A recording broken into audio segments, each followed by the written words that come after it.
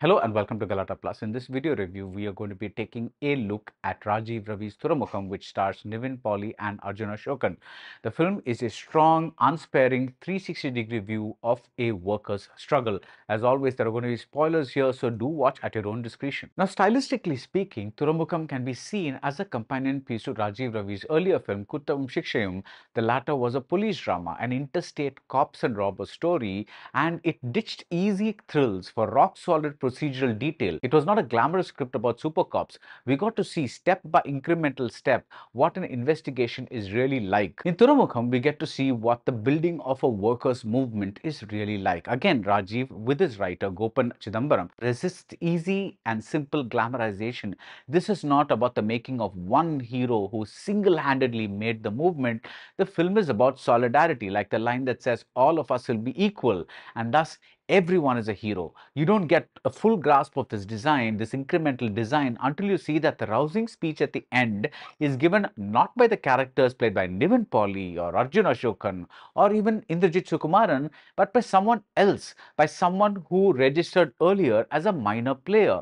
It's like how a tailender might end up saving a match after the star batsmen have fallen. The story is set against the backdrop of a worker struggle which centers on the casual and cruel system of labor allocation at the Mattancherry harbour in Kochi during the 1940s and 1950s. The workers would gather in front of their masters who would throw metal tokens into the air like throwing chunks of meat into the sea filled with sharks. And then they'd sit back and watch the feeding frenzy as every worker tried to grab a token. What an inhumane system because if you did not grab a token, you were not allowed to work in the harbor that day. And it all came down to how strong and agile you were while those tokens were being thrown.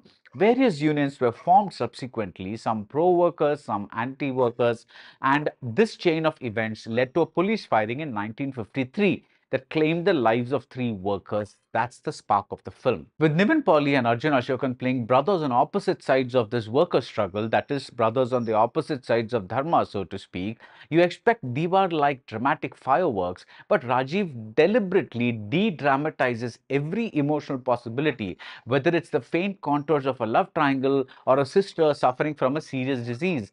I don't recall a recent film with a more powerful and star-packed cast, a strong and smoldering Nivin Pauly along with Indrajith Sukumaran, Joju George, Sudev Nair, Manikandan Achari, Darshana Rajendran, Nimisha Sajayan, and a particularly excellent Arjun Ashokan and Poornima Indrajith. But they are all, in true communist spirit, a part of the collective. A different film would have amped up, say, the grand echo of a father and a son dying the same way. But whether it's the music or the fights, nothing is allowed to become big enough to stand out. It's almost always single instruments like a guitar or a clarinet until the huge action set piece at the end as all the workers unite, all the instruments unite and become a symphony. Like in Kuttavum Shikshayum, no detail is too small to be discarded. Wrestling matches, a bangle that keeps reappearing, a money-lending Jewess, migrants from other troubled lands or a ship filled with Russians and the screenplay churns with blunt force repetition. The tokens are thrown workers lunge at them, the ones lucky enough to grab a token go in lines to gather coal or whatever else the ships bring in. Then they return to the token throwing room to stand in line for their meager wages. Sometimes one of them gets angry and protests. Sometimes there are processions with extremely specific and carefully worded slogans. For example, who painted the communist flag red with his blood? Other times the slogan is just Inquilab Zindabad and then we go back to square one with the tokens being thrown and the workers lunging at them and again and again and again. This repeating series of events becomes numbing after a point, especially in a film that lasts almost three hours, and I miss the sharp, vivid character strokes from Kuttavum Shikshayum or Vada Chennai to take another film that talked about similar issues in a more mainstream flavor.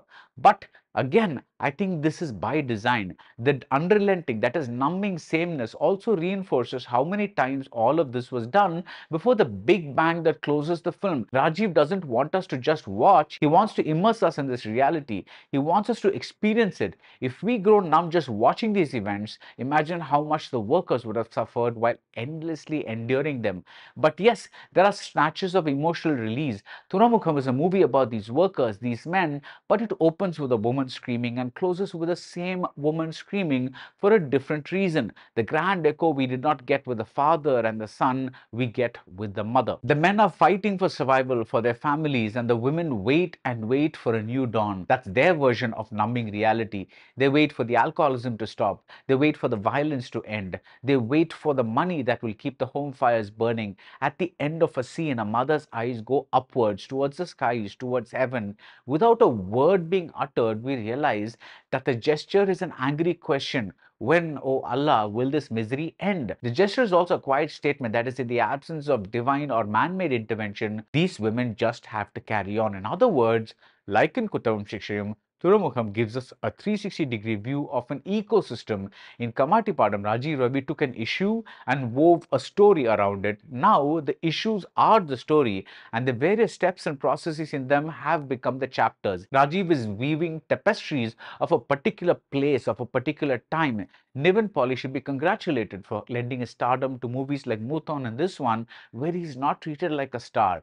Hits will come and go, but these are the films that will last. And that's it for Rajeev Ravi's Thuramukham. If you like this video, do subscribe to Galatta Plus and see you soon at the movies. Experience 10 days of Grand Europe trip for easy EMI of Rs 25,000 only with GT Holidays, South India's number one travel brand. Wonder Diamond, South India's largest lab grown diamond brand, stores at Chennai, Coimbatore, Bangalore, and Hyderabad.